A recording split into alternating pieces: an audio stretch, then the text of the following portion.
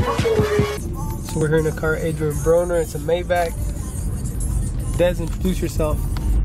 Yo, Dez and Drum, Slick Dez, Turning pro in 48 hours. for sure. Adrien Broner headlining against Adrian Granados. Going bowling right now. You a good bowler. Yeah, I'm better than Twin. You're better than Twin. You can put money on that. Yeah, I'm better than both of them up there. Both of them together, you beat them. He's a fucking liar. Why would he even say that? Because he's, man, he's a liar. They mad. They be hating him. Hey, you really got skills like that? I'm alright, bro. Nah, he can, he can go a little bit, though. He, he can do something. Yeah, yeah, he can go a little bit, but he can't pick up for shit. I know. Oh, if it ain't like- a strike, you know. If it ain't a strike, then I'm, I'm, Yeah, I'm man, ass man, out. Strike is OB. Des, if you had to turn pro in another sport, what would it be? Baseball.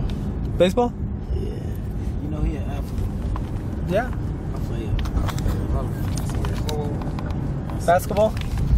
Basketball, football, baseball, and boxing. But I stayed in boxing all year round, though. Adrien's gonna in basketball, football. Yeah. We all athletes. Bitch, I need her. Baseball. Baseball was my second drink. But that's pretty awesome that you're about to turn pro and What's you're up? spending your time with Adrien Broner. Shit, about to go bowling. Oh, Who Western Hills football? Yeah. So there you have it. Another great video for ES News. For ESNewsReporting.com, I'm Elie Seckbach reporting, and you can follow me on Twitter at Seckbach. And you can follow me on Instagram at Elie Seckbach. Take a step